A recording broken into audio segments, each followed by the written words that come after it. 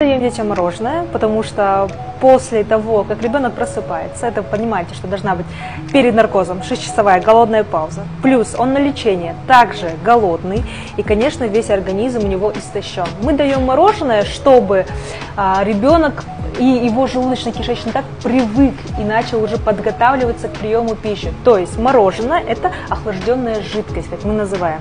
Когда ребенок начинает потихонечку ее лизать, она попадает сначала в горло, благодаря этому она, она обез- обезболивает и охлаждает, и также там у вас появляется такая жидкость, дальше она переходит уже в желудок.